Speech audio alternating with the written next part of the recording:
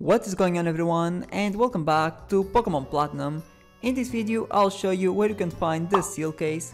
So fly over here to Solaceon town, then go up and turn right, keep on moving this way and then go down the slopes just like this. You'll find this house over here and you'll need to go inside.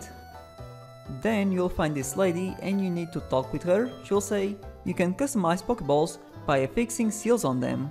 Oh, you don't have a seal case? Well, here you go. And she will give you the seal case.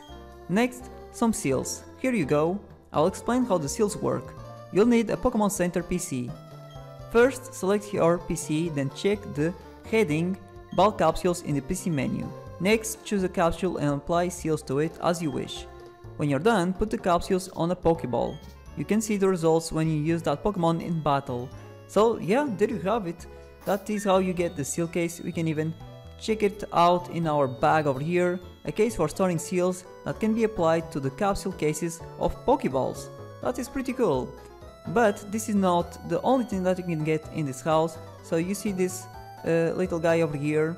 So if you bring an Unown, for example I have here Unown F and if you show an Unown to this uh, boy over here, he'll say, oh, that Unown looks just like my seals.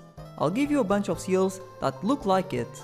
The F seals were put away in the seal case, so that is pretty cool. If you bring other Unowns of different letters, then he'll give you the seals that look like those Unowns. So yeah, there you have it everybody, that is how you get this seal case and how you get some seals of different uh, looks.